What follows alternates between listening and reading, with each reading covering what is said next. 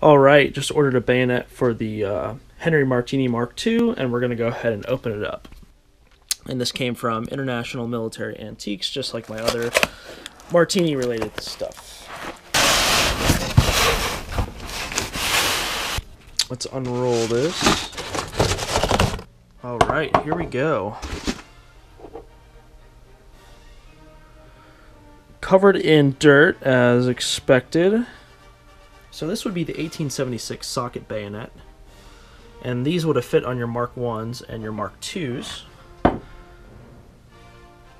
can see the three pronged edges right there. It's not very sharp. And then once we get it cleaned up, we can take a little bit uh, closer look at those markings there.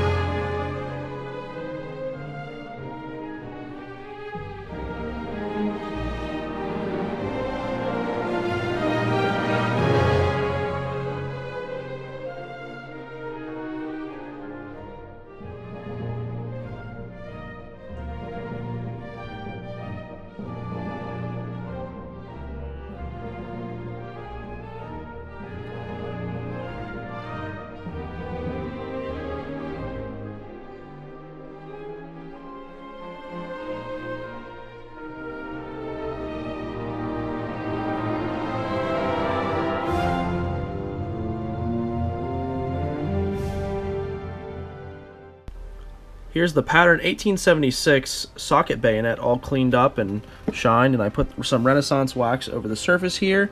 Um, and you can see it has a lot of the original tarnish which gives it some extra character. So the blade itself was 21 inches long, or 21 uh, and 3 fourths inches long, and the total unit was 25 inches long, as you can see here. And this was a bit of an improvement off of the 1853 uh, pattern socket bayonet, which was for the uh, pattern 1853 muzzleloader, of course. So right here is the inspection stamp, and it has the unit designation on it, if you can see it. Um, I'll also put a picture up. So the unit designation uh, number, which is 164 in this case, uh, over the British War Department's uh, stamp, which you can kind of see right there, and you can see the the little light off of my camera shining, which is kind of annoying, but whatever and then uh, you have the issue date uh, underneath of it.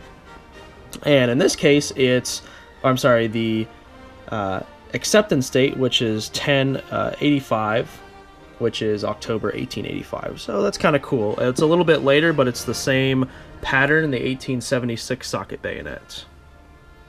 Alright, actually applying the bayonet is incredibly easy.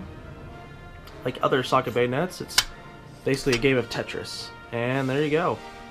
It's in there.